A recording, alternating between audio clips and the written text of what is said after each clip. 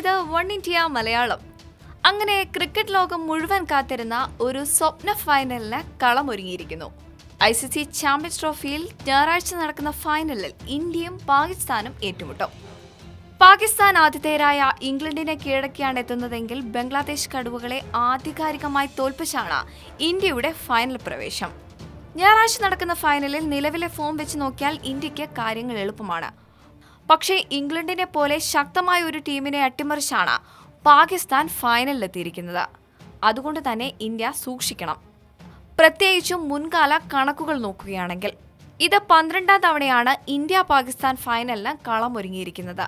ഇതുവരെ കളിച്ച പതിനൊന്ന് ഫൈനലുകളിൽ ഏഴെണ്ണവും വിജയിച്ചത് പാകിസ്ഥാനാണ്. രണ്ടായിരത്തി ഏഴിലെ ട്വന്റി ട്വന്റി ലോകകപ്പ് അടക്കം നാലെണ്ണത്തിൽ മാത്രമാണ് ഇന്ത്യയ്ക്ക് പാകിസ്ഥാനെ കീഴടക്കാൻ കഴിഞ്ഞിട്ടുള്ളത്. ആയിരത്തി തൊള്ളായിരത്തി എൺപത്തി അഞ്ചിൽ മെൽബണിൽ നടന്ന വേൾഡ് ചാമ്പ്യൻഷിപ്പിലായിരുന്നു ആദ്യം ഇന്ത്യ പാക് സ്വപ്ന ഫൈനൽ അരങ്ങേറിയത്. അന്ന് ഇന്ത്യ എട്ട് വിക്കറ്റിന്റെ വിജയം നേടി കിരീടവും ചൂടി. രണ്ടു വർഷത്തിന് ശേഷം ഷാർജയിൽ നടന്ന ഓസ്ട്രേലേഷ്യ കപ്പിൽ ഇരു ടീമും വീണ്ടും ഏറ്റുമുട്ടിയപ്പോൾ ജയം പാകിസ്ഥാന് കൂടിയായിരുന്നു. ആയിരത്തി തൊള്ളായിരത്തി തൊണ്ണൂറ്റിയൊന്നിൽ ഷാർജയിൽ നടന്ന വിൽസ് ട്രോഫിയിലാണ് പിന്നീട് ഇന്ത്യ പാക് ഫൈനൽ കണ്ടത്. അന്ന് എഴുപത്തിരണ്ട് റൺസിന്റെ ആധികാരിക വിജയം പാകിസ്ഥാൻ സ്വന്തമാക്കി. ആയിരത്തി തൊള്ളായിരത്തി തൊണ്ണൂറ്റിനാലിൽ ഷാർജയിൽ നടന്ന ഓസ്ട്രേലേഷ്യ കപ്പിന്റെ ഫൈനലിൽ വീണ്ടും ഇന്ത്യയും പാകിസ്ഥാനും ഏറ്റുമുട്ടി. അന്നും പാകിസ്ഥാൻ ഇന്ത്യയെ ഞെട്ടിച്ച് വിജയം നേടി. ആയിരത്തി തൊള്ളായിരത്തി തൊണ്ണൂറ്റിയെട്ടിൽ സ്വാതന്ത്ര്യത്തിന്റെ അമ്പതാം വാർഷികത്തോടനുബന്ധിച്ച ധാക്കയിൽ നടന്ന സിൽവർ ജൂബിലി ഇൻഡിപെൻഡൻസ് കപ്പിൽ ബെസ്റ്റ് ഓഫ് ത്രീ ഫൈനലിൽ ഒരെണ്ണത്തിൽ പാകിസ്ഥാൻ വിജയിച്ചപ്പോൾ രണ്ടെണ്ണം ജയിച്ച് ഇന്ത്യ ചാമ്പ്യന്മാരായി. ആയിരത്തി തൊള്ളായിരത്തി തൊണ്ണൂറ്റി ഒൻപതിൽ ബംഗളൂരുവിൽ നടന്ന പെപ്സി കപ്പിൽ പക്ഷേ പാകിസ്ഥാൻ തിരിച്ചടിച്ചു. നൂറ്റി ഇരുപത്തിമൂന്ന് റൺസിന്റെ കൂറ്റൻ ജയവുമായി പാകിസ്ഥാൻ കപ്പ് നേടി. ആയിരത്തി തൊള്ളായിരത്തി തൊണ്ണൂറ്റി ഒൻപതിൽ ഷാർജയിൽ നടന്ന കൊക്കക്കോള കപ്പിന്റെ ഫൈനലിലും ജയം പാകിസ്ഥാന്റെ കൂടെയായിരുന്നു.